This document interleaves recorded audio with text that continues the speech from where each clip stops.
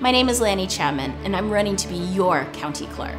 Public offices belong in the hands of public servants. After serving as Sherrie Swensen's chief deputy for the last three years, I'm ready to step up on day one to ensure your rights are protected, regardless of party affiliation.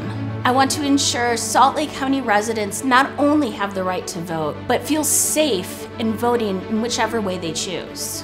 Vote to protect your voice. Vote Lannie Chapman for county clerk.